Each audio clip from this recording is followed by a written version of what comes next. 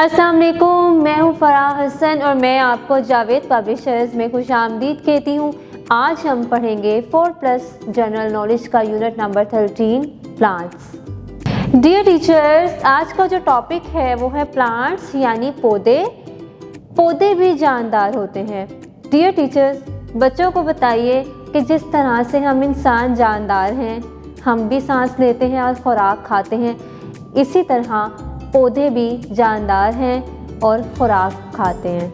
पौधे खुराक कहाँ से हासिल करते हैं? पौधे सूरज की रोशनी से खुराक हासिल करते हैं और इनके कितने हिस्से होते हैं? बच्चों को बताइए कि इनके तीन हिस्से होते हैं, जड़, तना और पत्ते।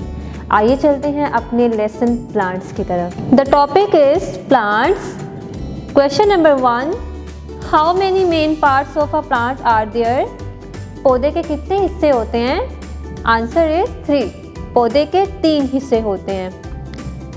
Question number two are plants living things क्या पौधे भी जानदार हैं? आंसर इज़ यस जी हाँ पौधे भी जानदार हैं। Question number three which parts of a plant are above the ground पौधे का कौन सा हिस्सा ज़मीन के ऊपर होता है? स्टेम एंड लीव्स तना और पत्ते ज़मीन के ऊपर होते हैं। जैसा कि पौधे के तीन हिस्से होते हैं, जड़, तना और पत्ते। जो जड़ होती है, वो ज़मीन के अंदर वाले हिस्से में होती है और जो तना और पत्ते होते हैं, वो पौधे के ऊपर होते हैं, यानी कि ज़मीन से बाहर। Question number four which part of a plant is under the ground पौधे का कौन सा हिस्सा ज़मीन के अंदर होता है?